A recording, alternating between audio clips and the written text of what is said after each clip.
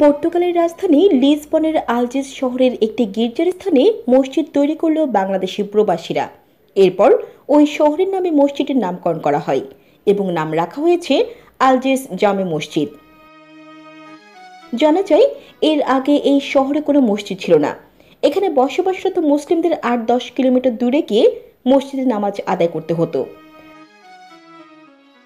আলজেস শহরের এই স্থানে মসজিদ তৈরির পূর্বে জায়গাটি খ্রিস্ট ধর্মের ক্যাথলিক অনুসারীদের গির্জা ছিল এবং এখানে তারা প্রার্থনা করত। পরবর্তীতে এটি পরিচালনার অভাবে বন্ধ হয়ে যায়।